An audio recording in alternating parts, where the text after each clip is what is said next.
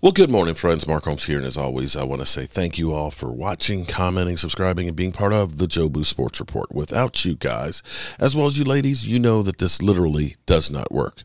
You know, I have sometimes I get stuff stuck in my head, okay, and it might be from playing football and being the hot man on the kickoff team that you know maybe my brain is just screwed up, but I know over the years, um, a good friend and mentor of mine used to always call me FF. Forgive me for when I say uh, when I cuss, but they called me the fuck up fixer. When we'd have a job where the stuff was just a problem and nobody could figure out, it would say call Mark because he'll fix it. And the Michael Irvin tape, a couple of things have kind of they hit me last night and this morning that bother me. First of all, I did a video yesterday about it, and I said sexual assault. I had a person go through and say, "Oh, you're the only one calling it a sexual assault." You know, words matter, and basically, it's you know, in, in trying to turn it that I'm calling it something that it's not. I guarantee, if you go ahead and Google Michael Irvin right now, you'll see, you know, accused of sexual assault, sexual harassment. You'll see it. In fact, let's even listen to Michael Irving in his own words.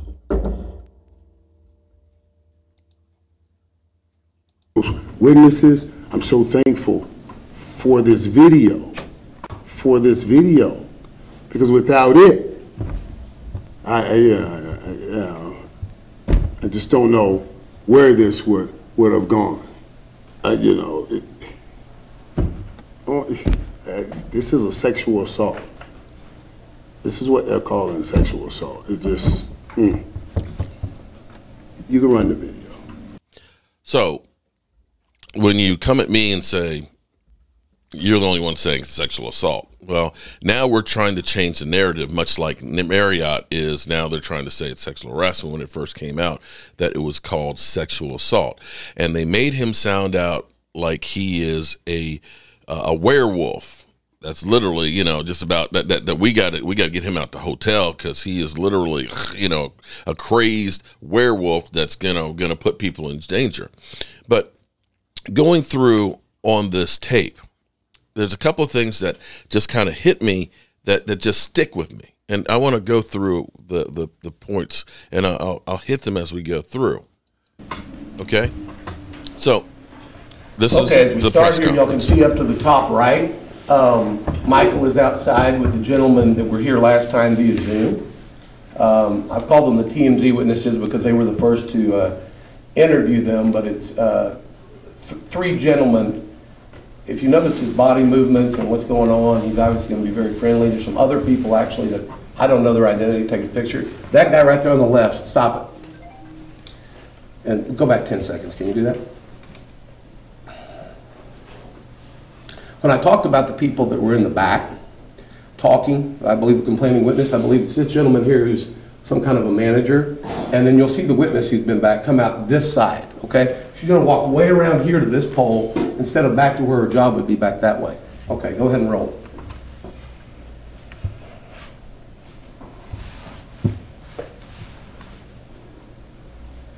Okay, I want to stop right here for a second. Wait a minute. There he goes. Oh, excuse me. Stop there for a second.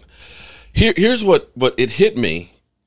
Now, the the woman will come, you know, to this. It's like a column. I'm assuming that's supporting the ceiling and stuff, right? So that's an entrance way to get into the bar, and you will notice there is a guy. Let watch.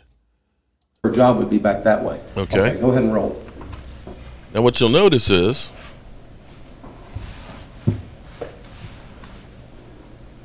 right there, okay? So you see this guy who was in the bar who's walking out of this. This is a hallway, corridor, entranceway. It is a traffic spot. People get in, people get out. Okay. Let's keep watching here. There he goes. She'll come this way pretty soon across the bottom. Also, when she walks in, you'll see she kind of looks around the pole to see if Michael is still coming. You see her just barely duck her head. Here she comes. See, Right there. You see how she stuck her head to the right? Now pause. She did. Now, she's way ahead of Michael. If she was to continue at her same speed for her job, she should be way over the bar in a second, but she clearly slows down so that they're going to intersect at that kind of juncture where you have to walk in the bar. So go ahead.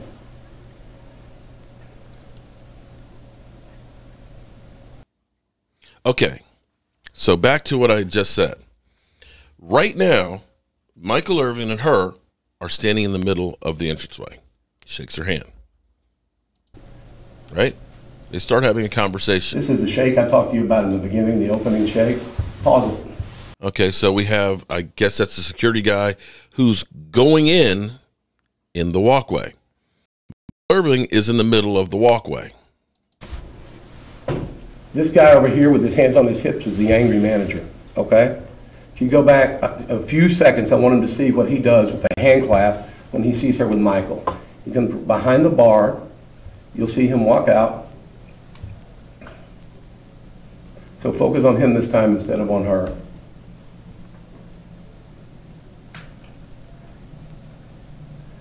We went back a little far. It'll get here in a second. So I want you to. th- This is this is important because they say she stepped back because of something that Michael Irvin said. But I'm going to say, her back there where back watch there. this. He comes up, the, in- the manager, and you'll see him when he sees her. Watch his expression when he does. See the claps? I don't know what that is. so right now, okay, so right now, they are actually blocking and impeding traffic in the entranceway. The two of them are literally right there. Okay, right? Up here, and you can see he's he's visibly frustrated. Okay. Now, sitting over the guy standing up over there, that's the guys that just came in with Michael Irvin.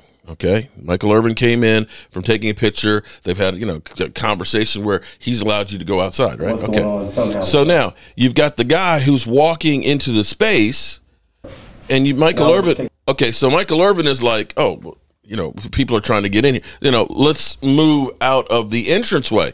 That's why he moved towards her. You don't stand in the middle of the way and block traffic. You get the hell up out the way. Move it. Get out the way. Get out the way. So back to Michael. that's where they step back. As you can see And, and you see where he steps over towards the side of the entranceway. I'm getting out of the space. And she realizes, yeah, I work here. It doesn't look good if I am like blocking the space. We have friendly interaction. Body Okay, so now good. they're not blocking the space anymore. They're having conversation. Just talk. In fact, as you see, he keeps more space from him than he does when he's talking to any male at any point in the bar. Okay, now here's the other part that bothered me. Okay. The thing that you see, you see the security guy and the other guy. So we get told there's two employees that are watching him. Yeah, they're watching him. Because I've done there, been there. I have done this. When you see someone famous, you're taken back. Oh my God, there's, you know, Michael Irvin. Because I've done this. I've done this to Michael Irvin. I remember being at the NFL commissioners party in Detroit. I think it was 2007 maybe. And that was the passing of the torch from Paul Tagliabue to to uh, Roger Goodell, and it was like uh, the anniversary of the uh, uh, MVPs. So literally every MVP that was still alive from the Super Bowls was there. And the way they were doing the commissioners parties at those time were there were tickets outside of the ropes, which there were like 4,000 of those. And then there's tickets that were inside of the ropes. Inside of the ropes, each of the teams had a table. Each of the teams had a table. Okay. So you've got the owners and their VIPs. Because I remember Emmitt Smith being there and I walking around the table several times because I was like, I want to get. And, and what you're doing is you don't want to go up to somebody and say, Hey, I'm a big fan. I would like to get a picture with you um, and interrupt because everybody is talking to these famous people. So you're trying to bide your time and make it seem, in, you know, like an accident. Oh, hey, you know, they got a break. They're not sitting there stuffing their face with food. You don't want to go up and say, Hey, can I get a picture? And it's like, why are you messing with? Because you're going to go ahead and get them off of, you know, it's like, dude, I'm eating. You know, leave me alone. Because sometimes people don't want to be bothered. So you wait for the right time. And so you have this Marriott employee who is circling around, you know, he's got he's engaged in a conversation right now. I'll wait till he's done. I'll ask him for my picture because then I can show it to people. Hey, man, I met Michael Irvin, and then of course everybody's going to be sharing it. You know, you're the you're the big guy. You get your five minutes of fame. Now, as far as the security guy goes, that's a different story because one of the ways I got this channel going was, you know, when I would be out with Jobu and taking pictures, people would come up and say, and I would say, hey, can I take a picture with it? And, you know, people would come up to me and say, hey, you're Mark Holmes and stuff like I said, yeah, let me take a picture of you to share. And it's like, no, I'm on duty. I can't do that. And usually police and security people can never be photographed at work. Just can't. So now, Michael Irvin gets out of the entranceway. Okay, let's keep on. Some of y'all probably wish you keep more space when he talked to you. And see, you try and be That's inconspicuous. hands. He's upset over there on the left with whatever's happening. The guy in the gray up top, that's the security guard that's wandering around. He'll, he'll circle around many times around Michael and her. You're circling around because you're biding your time to meet him. You don't want to go through and say, step in front of her. And, you know, you- you're biding your time. Hold on one Because, see, second. And we've been going for a while. They're having a lot of conversation. As, as Marriott released in their statement, they said basically, he said one word to her, an offensive, vulgar thing that he did not say, and it's clear from the video and from Okay, so let me go back to this. So here's what Marriott had said Irving reached out and touched her arm during the conversation without her consent, causing her to step back. Is it possible? Okay, is it possible that he said, Oh, hey, let's get out of the way? Hey, let's get out of the way. Let's get out of the way.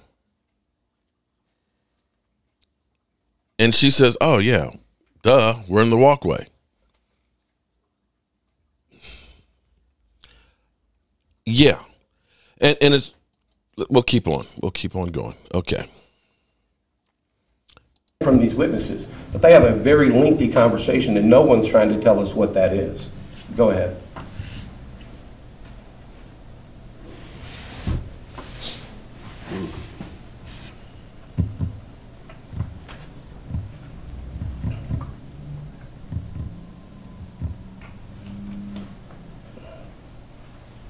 Okay, so that time, see, that time when he touched her, she didn't step back. She did a little curtsy. Right? Let's go back. The first time he touched her, they were in the middle of the walkway.